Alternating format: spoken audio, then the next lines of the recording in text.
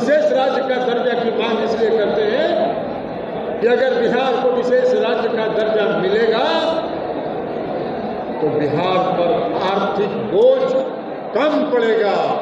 बिहार में औद्योगिक विकास होगा।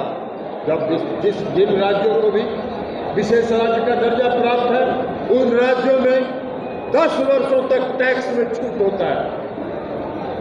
बिहार में आज कोई उद्योग नहीं लगाना चाहता है। क्यों नहीं लगाना चाहता है? इसलिए कि बिहार में ट्रांसपोर्टेशन की सुविधा, अगर वो यहाँ रॉ मटेरियल बाहर से लाएगा, यहाँ फैक्ट्री में उत्पादन करेगा, और उस उत्पाद को अगर वो बम्बई, महाराष्ट्र या कर्नाटका या गुजरात के मार्केट में ले जाएगा, वो माल नहीं बिकेगा। वो माल प्रतिस्पर्धा में नहीं बिकेगा। और इसलिए कोई उद्योग नहीं लगाना चाहता। अगर 10 वर्षों तक किसी उद्योगपति को अगर टैक्स में छूट मिलेगा तो बिहार में उद्योग लगाने के लिए लोग प्रोत्साहित होंगे। बिहार में उद्योग लगेगा और जब बिहार में उद्योग लगेगा तो बिहार का विकास होगा।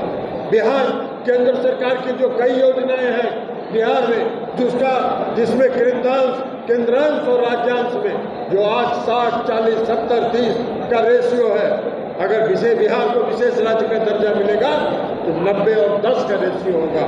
और जब 90 केंद्र सरकार 90 प्रतिशत केंद्र सरकार को देना पड़ेगा और मात्र 10 प्रतिशत राज्य सरकार को देना पड़ेगा।